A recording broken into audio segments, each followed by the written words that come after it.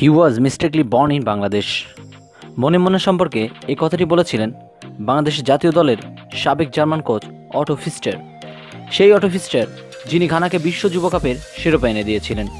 সেই অটো ফিস্টার যিনি আফ্রিকান দারিদ্র্যপীড়িত দেশ টোগোকে বিশ্বকাপ ফুটবলে চূড়ান্ত পর্বে নিয়ে গিয়েছিলেন। বাংলাদেশের ফুটবল ইতিহাসের সেরা ডিফেন্ডার মধ্য তাকে গণ্য করা হয়। এক যুগ ধরে আবহনী ক্রীড়াচক্রের সাথে খেলেছেন। আবহনী ও বাংলাদেশ জাতীয় ফুটবল দলের অধিনায়ক ছিলেন। উনিশশো বিরানব্বই সনে আহ্বানের জন্য বিশ লাখ টাকার চুক্তিতে স্বাক্ষর করে নতুন এক দেশীয় রেকর্ড সৃষ্টি করেন। কলকাতার ইস্টবেঙ্গল দলের হয়ে খেলেছেন। খেলোয়াড় জীবনের শেষে আবহানের ম্যানেজারের দায়িত্ব গ্রহণ করেন তিনি। হ্যাঁ মনে মুন্না। জন্ম উনিশশো আটষট্টি সালে নয় জুন নারায়ণগঞ্জে। মনে মুন্না জন্মগ্রহণ করেন। মনে মুন্না ঢাকায় উনিশশো একাশি সালে পাইনিয়ার ডিভিশন লিগে গুলশান ক্লাবের হয়ে অভিষেক ঘটেন। পরবর্তী বছরে দ্বিতীয় বিভাগ দল শান্তিনগরে যোগদান করেন। সেই বছর উনিশশো বিরাশি সালে নারায়ণগঞ্জ জেলা দলের সাথে জাতীয় দলের এক প্রদর্শনী খেলা অনুষ্ঠিত হয়। কিশোর মনে মুন্না ওই খেলাতে অংশগ্রহণ করেন এবং সকলের দৃষ্টি কেড়ে নেন। দ্বিতীয় বিভাগ দল মুক্তিযোদ্ধা সংসদ উনিশশো তিরাশি সালে মুন্নাকে দলে নেয় এবং দ্বিতীয় বিভাগ চ্যাম্পিয়ন হয়েই প্রথম বিভাগে উঠে যায়। উনিশশো ছিয়াশি সালে মুন্না ব্রাদার্স ইউনিয়নে যোগ দেন। এবং সে বছরই মাত্র আঠারো বছর বয়সে জাতীয় দলে খেলার সুযোগ পান মনে মুন্না। উনিশশো সাতানব্বই সালে খেলা ছেড়ে দেওয়ার পূর্ব পর্যন্ত তিনি জাতীয় দলের অপরিহার্য অংশ ছিলেন। উনিশশো সাতাশি সালে মুন্না আবহনীতে যোগ দেন এবং আমৃত্যু আবহনী ক্লাবের সাথেই জড়িত ছিলেন। মাঝখানে একানব্বই বিরানব্বই সালে কলকাতায় ইস্টবেঙ্গলের হয়ে ফুটবল খেলেন। উনিশশো একানব্বই সালে মৌসুমে দলবদলে তিনি আবহনী খেলেছিলেন। ওই সময়ের বিচারে অকল্পনীয় বিশ লাখ টাকা পারিশ্রমিকে, যা অনেক দিন পর্যন্ত বাংলাদেশেই শুধু নয়, গোটা উপমহাদেশে ছিল এক অনন্য রেকর্ড। অভাবনীয় এক ঘটনা জাতীয় দলের অধিনায়ক তিনি হয়েছেন একাধিকবার।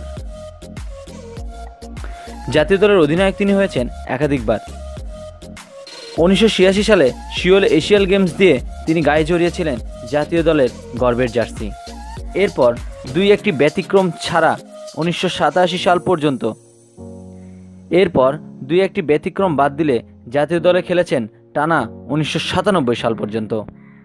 উনিশশো নব্বই সালে বেজিংয়ে এশিয়ান গেমসে তিনি প্রথমবারের মতো জাতীয় দলের অধিনায়ক আর্মব্যান্ড হাতে পড়েছিলেন। তার নেতৃত্বে উনিশশো পঁচানব্বই সালেই বাংলাদেশ মিয়ানমারে চার জাতি প্রতিযোগিতায় শিরোপা জয় করেছিলেন। ওটি ছিল আন্তর্জাতিক অঙ্গনে বাংলাদেশের প্রথম কোনো শিরোপা অর্জন।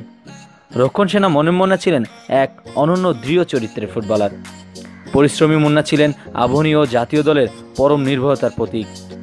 ফ্রি কিক থেকে গোল করার অসামান্য ক্ষমতার অধিকারী মুন্না ছিলেন এক সেলিব্রিটি ফুটবলার। ক্রিকেট এদেশের জনপ্রিয়তার শীর্ষে ওঠার আগে অবধি নব্বই দশকের মাঝামাঝি পর্যন্ত মনে মুন্না নামটি এদেশের কর্পোরেট বাণিজ্যের অন্যতম উপাদান হিসেবে ব্যবহৃত হয়েছে। উনিশশো ছিয়ানব্বই সালে মুন্নাকে ব্যান্ড অ্যাম্বাসিডার বানিয়ে সম্মানিত করেন বিশ্ববিখ্যাত প্রসাধনী প্রস্তুতকারী প্রতিষ্ঠান ইউনিলিভার। Football career. উনিশশো আশি থেকে একাশি পাইনিয়র ফুটবল পোস্ট অফিসের হয়ে খেলেন গুলশাল ক্লাবের হয়ে। উনিশশো বিরাশি সালে দ্বিতীয় বিভাগ ফুটবল শান্তিনগরের হয়ে খেলেন, উনিশশো তিরাশিতে দ্বিতীয় বিভাগ ফুটবল মুক্তিযোদ্ধা সংসদের হয়ে। উনিশশো চুরাশি পঁচাশি প্রথম বিভাগ ফুটবল মুক্তিযোদ্ধা সংসদের হয়ে খেলেন। ইউনিয়ন হয়ে খেলেন। উনিশশো সাতাশি থেকে উনিশশো আটানব্বই সাল পর্যন্ত প্রথম বিভাগ আবহনী হয়ে খেলেন। উনিশশো একাশি এবং তিরাশি ইস্টবেঙ্গল ক্লাবের হয়ে কলকাতায় খেলেন। উনিশশো ছিয়াশি থেকে উনিশশো সাতানব্বই সাল পর্যন্ত জাতীয় দলের হয়ে খেলেন মনে মুন্না। তিনি দুই হাজার পাঁচ সালে স্বল্প বয়সে কিডনিজনিত কারণে মৃত্যুবরণ করেন। উনিশশো নিরানব্বই সালে রমজান মাসে হঠাৎ অসুস্থ হয়ে যায় মনে মুন্না চিকিৎসার জন্য সিঙ্গাপুরে নিয়ে যাওয়া হয়। সেখানে কিডনিতে সমস্যা ধরা পড়ে। দুই হাজার সালে মার্চে ব্যাঙ্গালোরে বোন শামসুন নাহার আইভির কিডনি তার দেহে প্রতিস্থাপন করা হয়। দুই হাজার চার সালে দেহের ক্ষতিকারক ভাইরাসের উপস্থিতি ধরা পড়ে। দুই হাজার প্রায় তিন সপ্তাহ পর বারোই ফেব্রুয়ারি সকাল ছয়টায় তিনি মৃত্যুবরণ করেন।